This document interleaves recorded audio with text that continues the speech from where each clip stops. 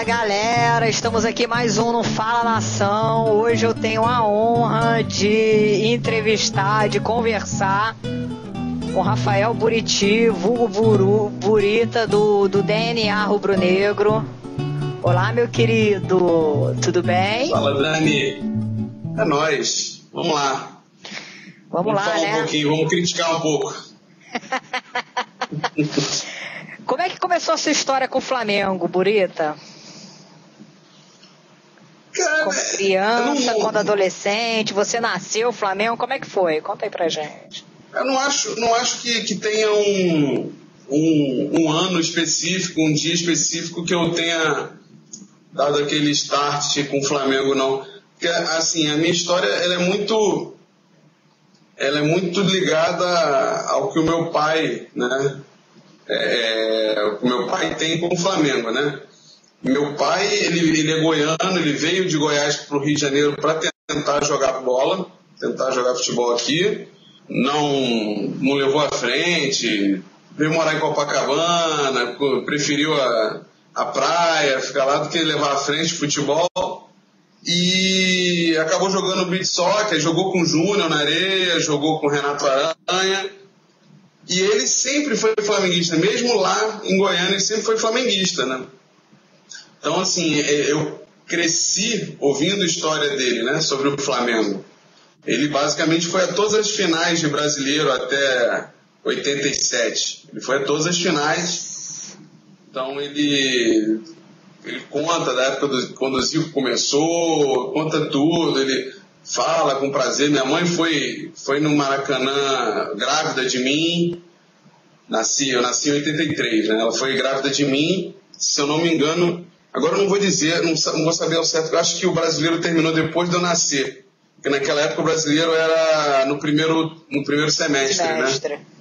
Ele era no primeiro semestre. Eu nasci, eu nasci, inclusive, esse. Você nasceu em abril, é não foi? Nasci, 26 de abril. Dia 25 foi um jogo do Flamengo. Foi Flamengo e Coritiba. Foi Flamengo e Coritiba, dois, foi 2 a 0 Flamengo.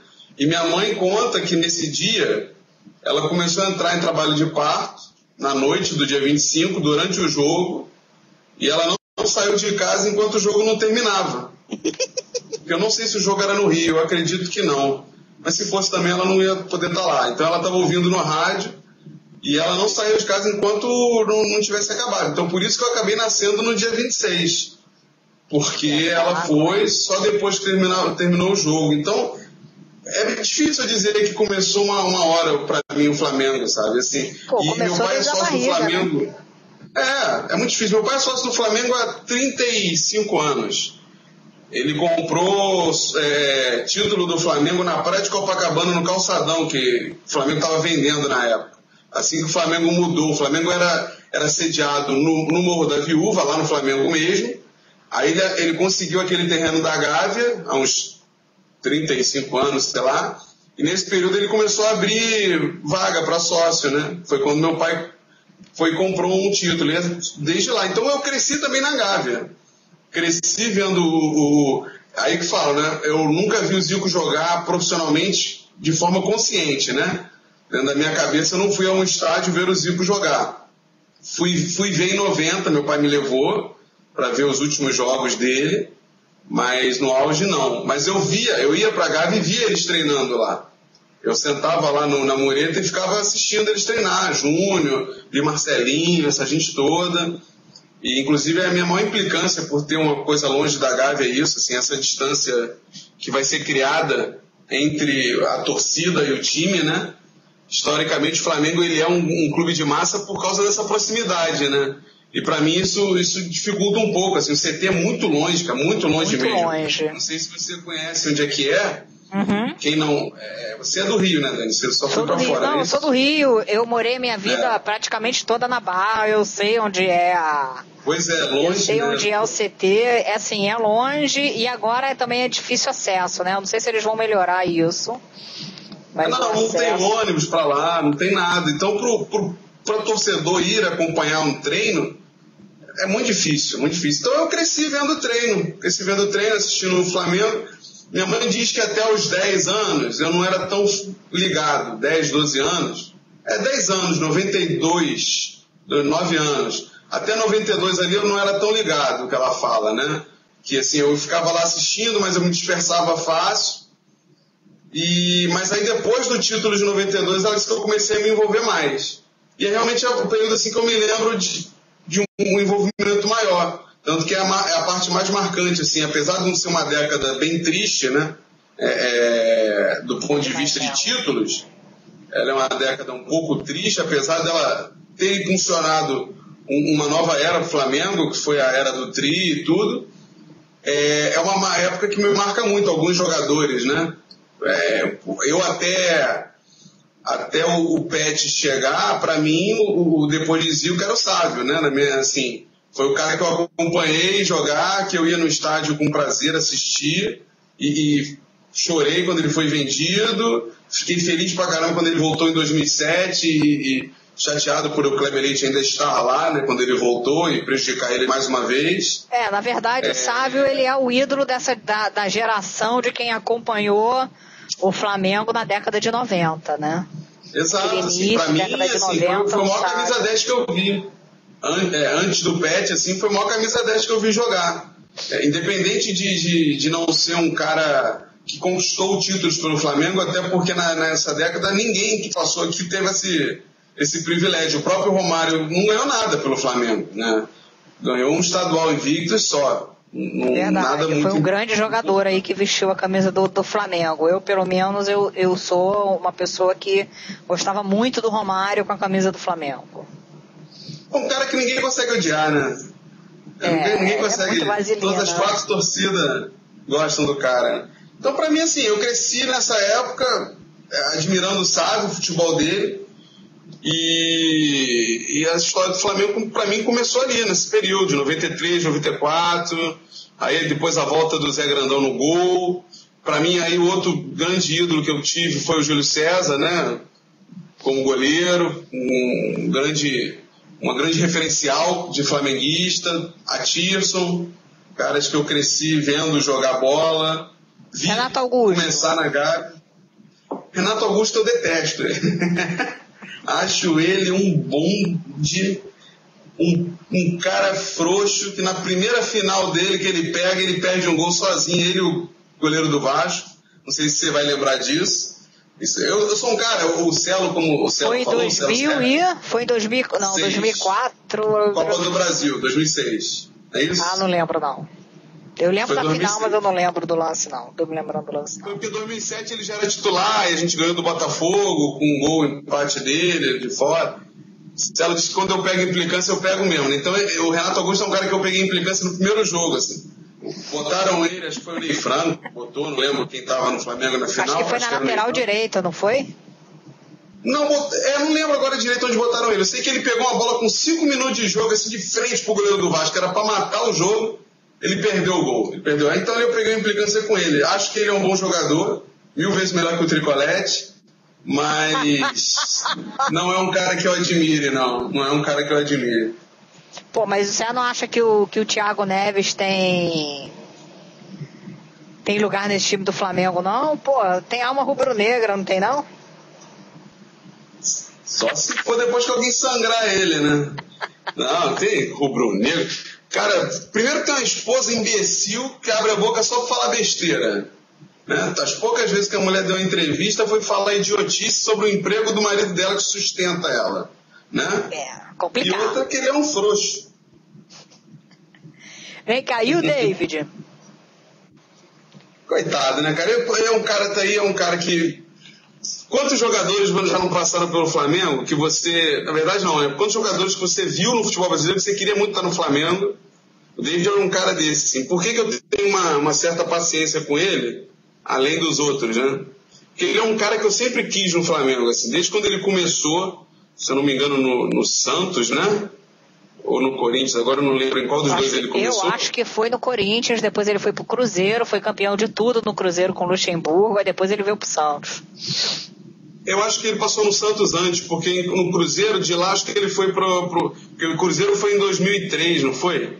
Foi é, Cruzeiro foi em 2003, aí ele foi, não, é, ele foi campeão em tudo em 2003 Em 2004 ele foi campeão brasileiro pelo Santos, não foi não? Só com. Acho, é, acho que foi. Ele foi artilheiro de três brasileiros. O cara, assim, eu admirava muito o futebol dele, assim, o faro de gol dele. Nunca foi craque, nunca foi, não, não vai ser, não é isso o caso.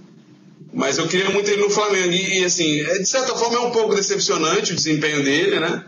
Acho que ele também veio muito tarde, né? Com 34 anos já, uma idade. Tá sem pique, Já um pouco avançada né? para um atacante. Oi, Dan? Ele tá sem arranque, né? Você vê que ele não tem a potência pro. É, no jogo contra o Fluminense, aquele passe que o Renato deu para ele, você vê isso, né? Ele, ele É não conseguiu passar do. Porque ele recebeu a frente do cara e não conseguiu manter essa distância do, do zagueiro. Eu acho que ele é um cara de qualidade, inteligente.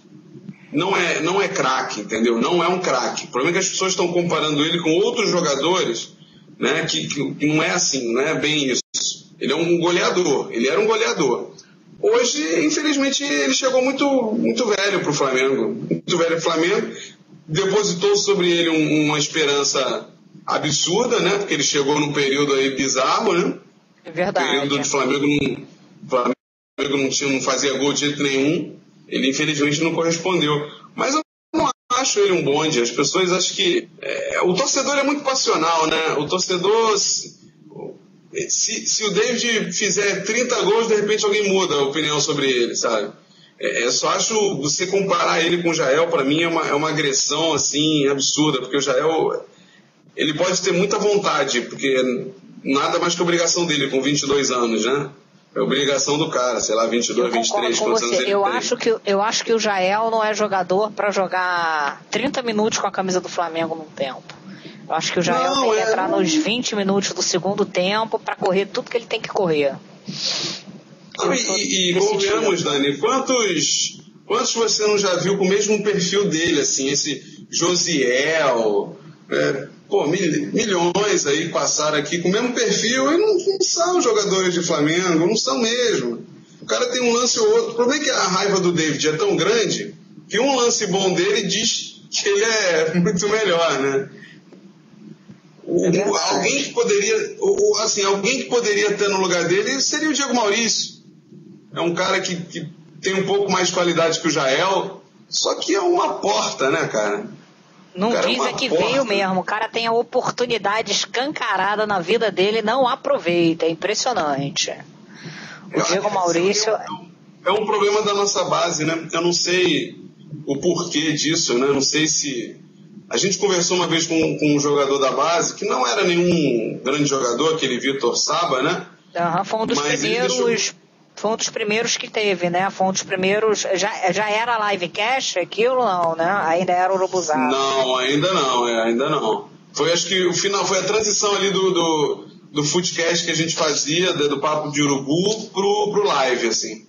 Foi meio que a transição, foi o primeiro da transição, até foi junto com um outro programa da, da Cris, do fim de jogo também. Mas ele falava isso, ele falou assim, que o tratamento psicológico com esses garotos na base não é bom. Então acho que isso, isso- você vê isso claramente, sabe, num Diego Maurício, num Galhardo, jogadores que têm um potencial. Eu acho sim que, que o Galhardo tem um potencial, mas não mostra a que veio, assim. Não, não, é um Atirson, sabe? Não é um, um Sávio, não é, não é um Y, eles não conseguem impor sua força, sua qualidade. De repente amanhã vai para um outro clube aí, vai virar um bom jogador, mas Flamengo, como parafraseando o, o Dentuço, é Flamengo é Flamengo, né? Não, não é fácil. Não é fácil mesmo ser jogador aqui. Vem cá, quem é melhor, Alex Silva ou Wellington? Rapaz. O Tosa, o Tosa é que ama, o Alex, achou que o Alex Silva ia ser a solução, né? Ah, Eu não sei. Alex Silva não pula, nunca vi jogador Cara, não ele- pular, cara. Ele não pula, acho que ele tem medo do joelho dele. Ele é bem mais calmo do que o Wellington, né? Mas isso também, assim, um cara com a idade dele tem que ser mais calmo, né? Tem que ser mais calmo. O Wellington, eu acho engraçado, é, aí entra a gente na torcida de novo, né? Ele tá indo melhor agora, né? Tá, tá fazendo menos cagadas. Menos, né? É nem menos, é menos cagadas. Mas. O cara não, é, não vai ser jogador de Flamengo jamais, cara. Jamais. Para mim ele tá no. Aí eu, te, eu vou falar da década que eu vi mesmo. Ele tá no nível de Fabão, de Luiz Alberto. Tá nesse nível aí. Depois que a gente foi campeão de Copa do Brasil com Irineu e como é que era o nome daquele careca? Irineu, Irineu e Moisés, né? Foi? Moisés, é, os dois, dois cabeção, né? Os dois cabeção.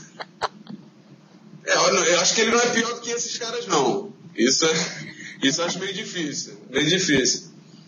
Mas o cara é, é, é burro, cara, é burro. É burro. E o Flamengo, esse é o grande problema. O Flamengo é cheio de idiota, né, cara? O Williams é burro, o Elito é burro.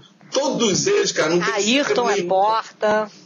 ontem ele errou dois passos de 5 centímetros que inacreditável, cara, inacreditável. E isso vai irritando, né?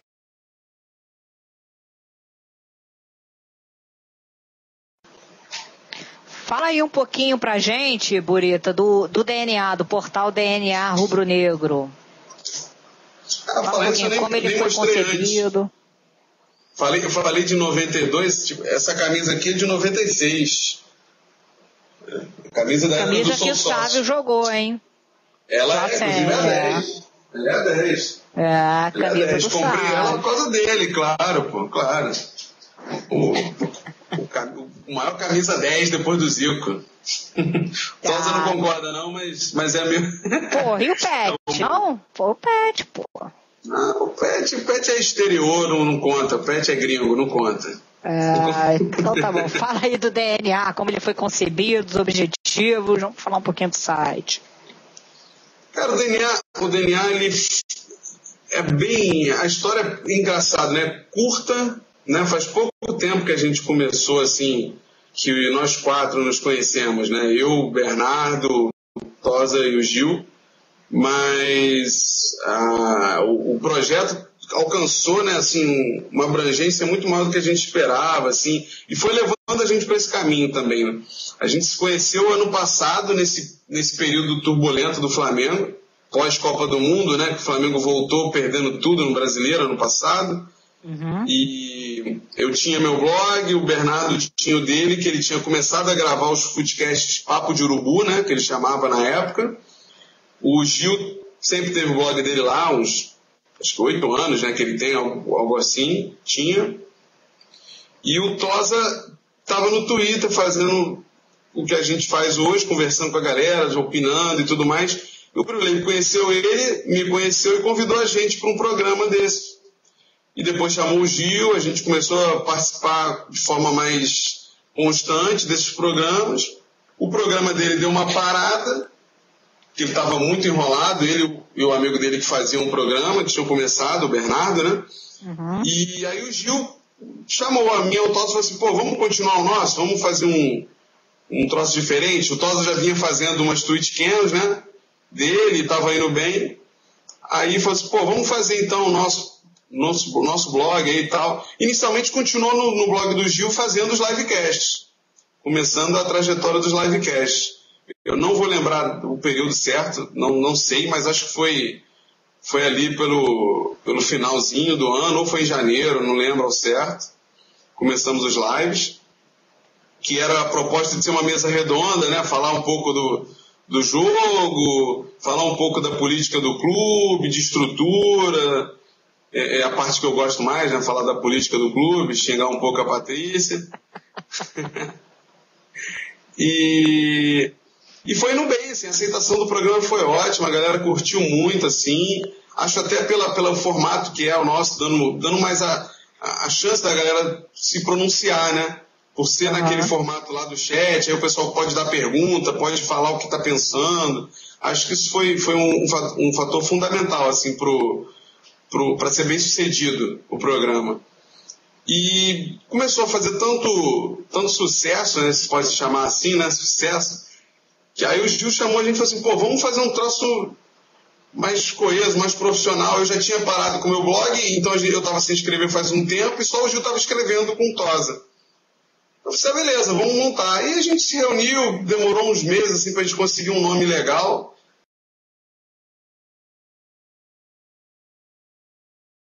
A ideia do nome. Uhum. Foi? Foi.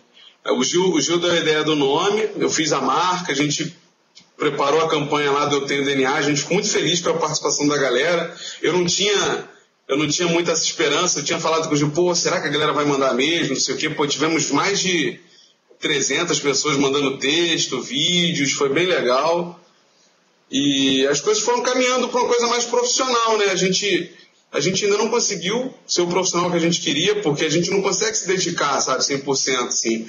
A minha, o meu, o meu, a minha ideia era poder escrever todo dia, sabe, fazer alguma coisa, mas a gente não consegue, é muito difícil. É o caminho que a gente quer. É, é, a gente quer sim se profissionalizar, fechar aquele portal para os quatro trabalharem só para ele, sabe? Gerar renda para a gente sim a partir dele. Não vejo problema nenhum nisso. Não vejo problema nenhum nisso. É, é, é realmente capitalizar para nossa vida para a gente poder se dedicar, oferecer claro. um serviço melhor programas com mais qualidade, os podcasts com mais regularidade, os textos que a gente queria escrever, falar sobre coisas mais profundas do que só o jogo. Eu me proponho, eu gosto disso. Eu acho que o ser Flamengo é muito além de um jogo. A gente, a gente bate muito nessa tecla lá. É tipo, os seus textos no primeiro penta, você não se foca só no jogo, você fala de outras coisas. Você fala de, do, da política do clube, você fala de como as coisas estão sendo tratadas lá dentro. É, é a nossa proposta, assim. Eu acho que eu, eu particularmente, eu tenho, um, eu tenho um objetivo pessoal, que é fazer os torcedores se focarem na, no, na, na gestão do clube, não só no, ah, no ganhar um jogo. Porque isso você ganha hoje e amanhã você perde mas uma gestão ela fica para sempre, entendeu? Os problemas de uma gestão, eles se arrastam eternamente, tá? E o Flamengo está se arrastando com problemas de 15, 20 anos atrás, que infelizmente são muito difíceis de solucionar, né? E é isso, o DNA é isso, é uma, são quatro caras que falam do Flamengo, quatro caras apaixonados pelo Flamengo, cada um ao seu jeito, né? Cada um com a sua personalidade, cada um com a sua visão, tem lá, o Toz é o cara que gosta de mais analisar, eu sou o cara que pego no pé dos jogadores, o Gil é o, o poeta da, da galera, escreve texto rebuscado, e o Leiber é o cachaceiro, ele vai pro boteco, vai comemorar, zoa os outros. É isso aí, né? A nossa. É, é ser informal, assim. Pra gente, Flamengo faz parte da nossa vida, né? Não tem como a gente desgrudar disso. Então, é isso que a gente quer. A gente quer só fazer de, da melhor forma possível o que a gente acha que a galera da imprensa oficial não faz bem, que é falar do nosso Flamengo de forma aberta, crítica, sim, que a gente está ali não só para falar bem do Flamengo, porque é o Flamengo, a gente está ali para ver, para apontar, olha, esse aqui que a gente acha que está errado, sendo certo ou não, porque cada um tem uma opinião sobre o Flamengo, cada um tem uma opinião sobre o time, sobre um jogador, nem todo mundo está certo, nem todo mundo está errado, né? É somente a opinião de cada um. É somente a opinião de cada um. Eu não gosto do Thiago Neves, mas não, não, não obrigo a ninguém não gostar. É, eu não gosto. Tem um monte de gente que idolatra ele. Tem gente que não gosta do sábio. Eu gosto do sábio. Tem gente que não gosta do pet, provavelmente tem. Claro, eu acho, eu acho, que as diferenças têm que, ser, têm que serem respeitadas, né, cara? Sempre, eu acho que, acima, que acima de tudo, o Flamengo, o Flamengo ele teve muito jogador que já passou por ele e nenhum, eu acho que nenhum foi unanimidade, nem o Zico. Nem o Zico que foi unanimidade. Falando em Zico, queria que você falasse desse momento do Zico com o Flamengo. Você acha que o grande culpado desse afastamento do Zico é o capitão Léo, é a falta de pulso da Patrícia, é isso tudo. É o Zico que é malandro e percebeu que a vida dele com não pode ser atrelada ao Flamengo para sempre. O que, que, você acha dessa história? É... Cara, assim, é muito difícil você avaliar. É... Eu consigo, por exemplo, separar muito bem o, o ídolo Andrade do treinador Andrade, por exemplo. Para mim é muito fácil isso.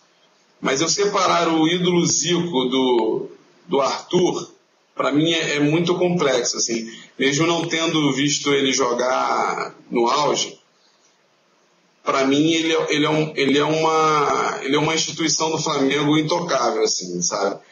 Eu respeito e, e amo o Zico muito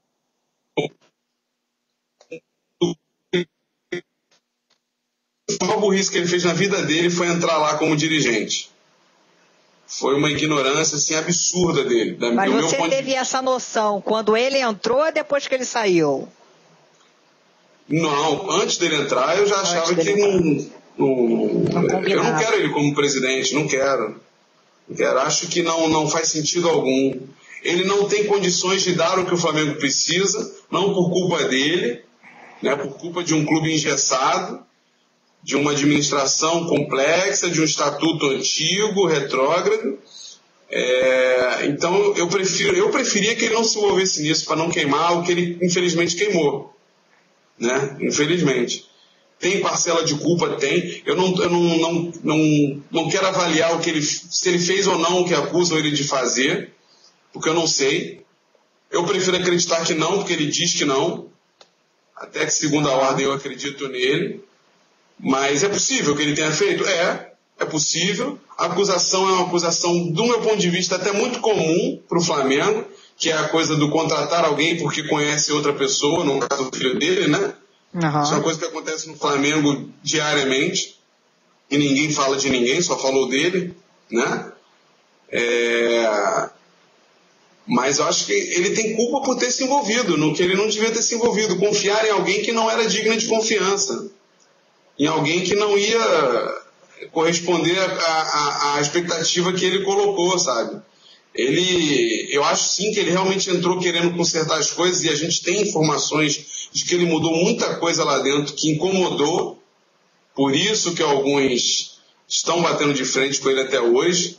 Ele tirou algumas regalias de torcida, de empresários, frutos hoje aí na nossa base que está se mantendo, né? Mas não sei se, se, foi, se foi muita inocência dele, sabe? Porque o cara achou que a mulher ia proteger ele e ela é uma covarde, né, cara? Essa mulher é uma frouxa, assim. Ela já mostrou isso em todas as, as ações delas, não só com ele, assim em todas as circunstâncias do Flamengo, ela não se apresenta como uma, uma, uma pessoa de autoridade deveria se apresentar. Né? Esse caso do, da briga, do, sabe, da pancada que rolou durante a apresentação, ela não se manifestou em momento algum oficialmente, sabe? O clube deu um comunicado oficial, mas ela não falou nada. Ela não se comunicou, isso é um absurdo, sabe? Ela só foi se, se manifestar quando o Márcio Braga pegou, levantou a, a voz e falou uma série de coisas sobre ela sobre a administração dela. Aí é bonito, defender ela mesma ela sabe, né? Defender o Zico. Isso é verdade. A, a, aquela, nota, aquela nota oficial do Flamengo foi muito ruim, né? Isso é um consenso. Isso é um consenso. E não teve participação de uma mulher que se diz, ela disse na entrevista com todas as letras que é uma pessoa que peita mesmo, põe a minha, eu ponho a cara a tapa. E não fez isso nessa circunstância. Não fez. O Flamengo não foi maior para ela do que esse senhor imbecil desse capitão Léo aí. Não foi. Ela preferiu acobertar esse cara, preferiu acobertar o peruano, preferiu fingir que nada aconteceu e parece, pelo visto aí, que nada vai acontecer mesmo, nada mesmo. E outro problema aconteceu com o Veloso e o, e o é, Angione não, é o. O, tio, o Tinoco. Tinoco. Angione é outro. Ela também não se manifestou. Então, assim, eu acho que é uma pessoa sem condição nenhuma de gestão. Não tem. Está misturando as coisas. Infelizmente, é a primeira vez que a gente vê no Flamengo um, uma presidente usar o Flamengo como trampolim político. Para mim, isso é muito claro. Essa semana ela mudou de partido político. Ela mudou de, de do, do PSDB para o PMDB, se eu não me engano, essa semana. Isso para mim é uma mudança, é uma forma clara dela mostrar que ela está se tá mexendo os pauzinhos por trás aí. Não sei o que vai acontecer. É, tudo que ela tem feito, a contratação do Ronaldinho, essa insistência em tentar contratar o Thiago Neves, independente do meu, da minha implicância com ele, são 18 milhões que você vai investir num cara que, é, francamente, não tem mercado. Você vai vender ele para quem? Porque o cara foi para a Arábia e foi devolvido duas vezes. Verdade. Ele não se deu bem. A Europa nunca se interessou por ele. Ele chegou aí, não foi? Acho que para algum lugar na Europa e voltou também. Foi, mas ficou tempo, pouco tempinho. Se eu não me engano, acho que foi para Alemanha, para um time de camisa azul. Alemanha. Eu não estou me lembrando e qual. Um local onde o Renato Augusto, por exemplo, se deu bem. Então essa desculpa de que é um lugar ruim, de se dar bem e tal. O Juan foi para lá se deu bem, o Renato Augusto foi para lá se deu bem. Tiveram alguns que voltaram sim, mas outros se deram bem. Então, eu acho que é um investimento alto num jogador que não é tão diferencial assim. Ok, ele tem feito gols é, decisivos, mas ele não é um diferencial do Flamengo, como o Ronaldinho é. Você está investindo uma grana pesada, 18 milhões é uma grana pesada que o Flamengo não tem. E ela vai fazer isso provavelmente, provavelmente ela vai fazer isso porque isso faz parte da, da, da propaganda política dela, como foi a contratação do Ronaldinho, foi parte de toda uma coisa que ela não queria errar esse ano, ela queria manter uma imagem boa, fazer de qualquer jeito. Provavelmente nesses 10 jogos que a gente passou mal aí, ela deve ter tido uns ataques de pelanca fortes, porque estava prejudicando todo o plano dela. O Flamengo se recuperou aí. É, o Zico, cara, para mim, ela pode fazer o, Zico o que foi um instrumento, né, cara, na verdade, né? Foi, foi. Ela usou ele como escudo e depois jogou fora. E para mim, ela pode fazer o que ela quiser. Mas o que ela fez com o Zico jamais vai ser limpo, cara. Jamais é. vai ser limpo. Eu tenho essa jamais impressão também. Eu tenho Independente dele ter errado ou não. Eu não estou entrando no mérito dele ter errado ou não como dirigente. Ele ficou três meses no clube, é, contratou pessoas, alguns deram errado sim, outros são caras como o David, que ninguém era capaz de falar mal dele quando foi contratado. Duvido. Qualquer um aqui que disser não, eu não queria ele aqui é mentira. A torcida ficou feliz sim quando ele veio para cá, não deu certo. A torcida queria sim o tal do Diogo quando veio para cá, não deu certo, era uma aposta, assim como esse André que todos queriam também é uma aposta. Não acabou não vindo, também seria uma aposta. O Valbaiano para mim é o único tiro no saco, né? Porque realmente é muito ruim, né? É muito ruim. Até que é justificável porque ele foi artilheiro do Campeonato Brasileiro, né? Mas é muito ruim mesmo. Agora, um, independente do Zico ter sido bom dirigente ou não, a forma como ele foi tratado dentro do clube e por parte dessa gestão é triste e não vai ser apagada, cara. Da minha cabeça nunca. Essa mulher, ela não pediu desculpa pro Zico, cara. Não pediu. Se ela tivesse feito isso, tudo se resolvia. Porque independente, assim, não, é, não, não tem que ser uma, uma briga de, de, de, de ego ali para quem está certo ou quem está errado. O Zico, e eu falei isso no live um outro dia, ele é, uma, ele é um produto do Flamengo. O nome Zico é um produto. Ele vende em qualquer circunstância. Você pode botar o Zico em, no que você quiser que vai vender. Você vai para o estádio, cada 10 pessoas, você vai ter 4, 5 pessoas com a camisa escrito Zico nas costas. Então você não pode fazer nada contra esse nome, que é um patrimônio financeiro para o clube. É mais, o Zico é mais do que a pessoa Arthur Antunes hoje. Ele é um produto para o clube. Quando você deixa um conselheiro falar as idiotices que aquele idiota, aquele imbecil falou, você luta contra um patrimônio do clube. Claro, você pega e prejudica, desvaloriza. Você começa a tirar o crédito de uma coisa que para você gera retorno financeiro. E essa é uma implicância minha com essa presidente. Ela não vê isso o, essa situação do peruano com o Arthur, Urublog, foi uma situação triste no momento que o Flamengo está vendendo exposição, que é o lançamento de um uniforme, os patrocinadores, está tudo ali envolvido. Pegou toda aquela situação e jogou fora porque ficou direcionado para um problema policial, né? De briga, de soco, de agressão. Ou seja, é prejuízo financeiro para o clube. O Flamengo vai deixar de vender? Não mas prejudica. Claro, prejudica. a imagem do clube, claro. Essa é claro, é de repente a notícia principal ali não foi o lançamento da, da, da, terceira camisa, foi a briga, né? Foi que todo mundo se movimentou. Eu estava na hora, Exatamente. até no Twitter, estava no Facebook, foi na, na hora, todo mundo, estava é, todo mundo ali esperando a terceira camisa, mas acabou se mobilizando, centralizando e focando uma outra coisa totalmente negativa mesmo para a imagem do clube. Inclusive, com a nota, com a nota oficial é, emitida depois, que foi decepcionante. É, a nota, então, assim, a nota, desse, a nota foi, foi terrível. A minha implicância com essa gestão é essa. E tirando o fato de que tem 500 ex-presidentes né, na diretoria, né? Todos ex-presidentes de, de, de, qualidade duvidosa, né? Um deles mas, que entra mas e sai foi isso que a Patrícia usou para ganhar, né, Buriti? Ela se associou a muita gente, né?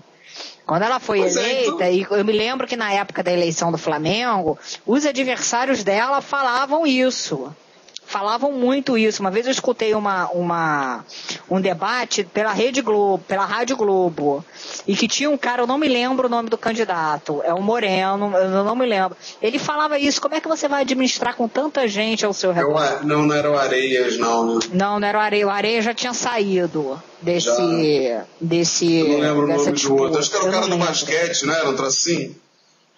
Eu não me lembro. Não lembro. Era ele, o cara é advogado, mas eu não me lembro o nome dele, entendeu? Então, assim, e desde, desde quando ela foi eleita, ela se agrupou a muita gente. E muita gente de, ali de, de índole duvidosa, né? Tem Veloso, tem o Alau. Muita gente que, que tá há muito tempo no Flamengo e o Flamengo não sai da, da, da, da, da mesmice que tá. Essas pessoas fazem parte da história do Flamengo. E tem, e tem um problema, sabe? O, o, Flamengo ele vai, ele vai sofrer algumas heranças disso. Assim, o que é a Trafique no Flamengo hoje, sabe? O que, que a Patrícia está fazendo com essa, com essa empresa lá dentro para manter esse time? Eu não sei o que ela está fazendo. Qual reflexo que isso vai trazer alguns anos para a gente, sabe? Tem, é, o torcedor tem que ver isso, sabe? Pensar muito além, muito além. A Trafic está ali, quem está pagando o salário do Ronaldinho? Não é o Flamengo. Não, não me engane, não é o Flamengo. O que, que foi essa semana que ela per perguntou ao conselho sobre pedir um adiantamento da verba para poder pagar o salário porque não estava dando conta? Por quê? Ela não disse que estava tudo tranquilo? Não precisava nem de patrocínio? Exatamente. Então, isso preocupa, sabe? O que, que vai acontecer quando ela largar isso aí? O que, que vai aparecer debaixo dos tapetes que estava que não apareceu agora, sabe? Como foi com Edmundo Santos Silva, como foi com Kleber Leite, entendeu? É complicado, sabe? É complicado a gente ver. E para mim é isso. O Zico entrou numa roubada, como foi para ele a situação do Collor na época, né? Que ele foi secretário de esporte do governo Collor, né? Uhum. Muita gente nem se lembra disso, nem sabe disso, né? Ele foi o segundo secretário de esporte depois do Pelé, né? Uhum. Ele, ele veio e aprimorou a lei, a lei Pelé, que, era um, que é uma lei que acabou dele, né? com os é clubes brasileiros, né? Uhum. Acabou. É, talvez, talvez o Zico não seja um bom administrador, sim. Talvez. E acho que ele cometeu o maior erro da vida dele. Misturou o nome dele onde não devia. Devia ter ficado na história do futebol e só. Mas não acho que ele seja o, o, o ponto negativo disso, sabe? Nem, por exemplo, a entrevista dele eu não vi tanta coisa ruim na entrevista. As pessoas já começam a falar um monte de merda, um monte de acusações absurdas sobre o cara. Eu também não vi nada demais naquela entrevista. Falou algo nada mais do que normal. Que, assim, se o cara tem um neto e o neto pede para brincar, ele vai deixar de ver o jogo? Sim, eu, eu acho que foi até a Donas da Bola, a menina que escreve no Donas da Bola, Priscila, que ela falou uma coisa que é certíssimo. Ela falou, fez uma analogia e falou assim: ah, mais do que justo, no domingo, depois de chegar de viagem, é, você ir brincar com seu neto, Zico, coisa que você não pôde fazer com seus filhos porque estava defendendo a, a camisa do Flamengo. Aliás, isso é um ponto assim, eu já vi é, eu sou um, eu tenho, eu sou um, um, como um bom nerd, né? Eu pesquiso e estudo muito sobre o Flamengo, né? Eu tenho milhares de livros, DVDs e fotos e jornais. E eu tenho uma entrevista na época até do, do, dos garotos mais novos que o Bruno fala isso. O Bruno, né, o, o filho do meio, ele fala isso. Ele fala que o, o, o pai dele não era presente não era presente na vida deles. Então, assim, você vai crucificar um cara, de repente, ele está tentando acertar realmente a vida do cara. Ele, ele não parou. E até hoje ele não para. Ele não para. Ele está com é, 57, né? 57 anos, se eu não uhum. me engano. Não para. Não para né? de trabalhar e não precisa disso. Verdade. Então, sabe, ah, você vai questionar essa coisa absurda que toda hora que sai uma notícia do Flamengo, alguém escreve. Saiu? O Fluminense saiu isso. Zico aprova a falta de Botinelli.